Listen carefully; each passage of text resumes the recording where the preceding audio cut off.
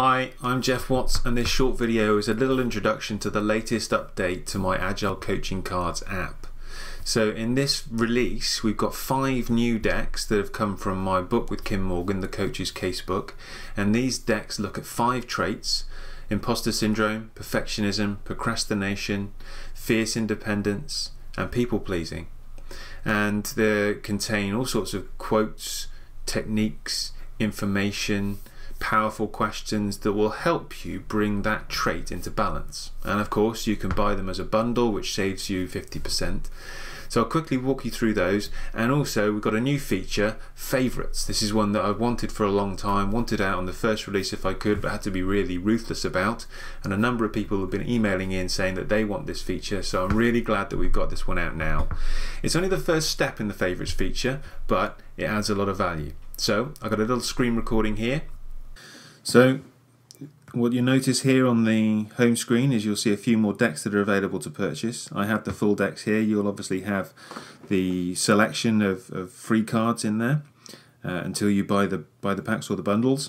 So we've got procrastination, imposter syndrome, people pleasing, fierce independence, perfectionism, and in each of the decks there's a number of questions, uh, powerful questions, some techniques that you can use, uh, some quotes uh, more techniques, bit of information, things that you can try.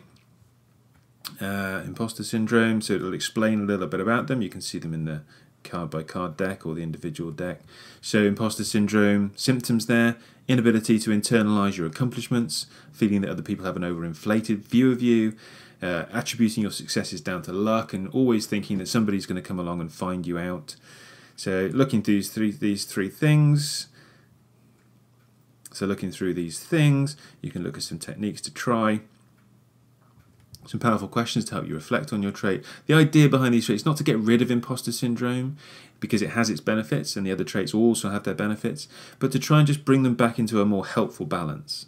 But of course, you can now add these cards to your favorites. So this little heart down the bottom here, you can click that and that will be added to your favorites. Perhaps you like this particular technique. Um, perhaps this particular question like you like that one. You can go back and you can add cards from all, all of the decks.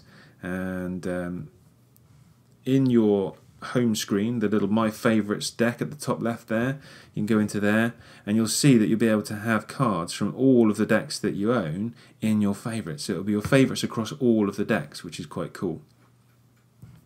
The next release is um, will, will enable you to actually filter within that deck just to see the favorites that you have within that deck. That's going to be coming soon. But this feature was already ready, so thought, well, let's not hold up the delivery of this one to wait for the next piece. So that's quite cool. I've been really looking forward to that. I really wanted this favorites feature out there as early as possible. And from the emails that I've got, I know a lot of you have as well.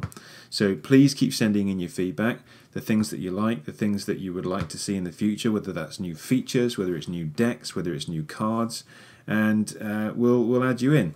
There is a competition that we're going to be running. So if you buy these coaching cards decks, uh, these so if you buy these decks based on the coach's casebook, these um, these traits decks, and you tweet your favorite and why it's your favorite, then you'll be entered into a draw to win another pack of your choice. So presuming you haven't bought all of them already, or perhaps you you'll be eligible to win one of the new decks that comes out in the future.